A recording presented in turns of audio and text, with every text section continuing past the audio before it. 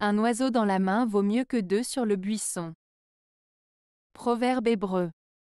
Ce proverbe signifie qu'il vaut mieux être satisfait avec ce que l'on a déjà plutôt que de prendre le risque de tout perdre en essayant d'avoir encore plus, en référence à l'idée qu'il est préférable de garder un oiseau qu'on a attrapé plutôt que de poursuivre deux autres qui sont encore perchés sur un buisson.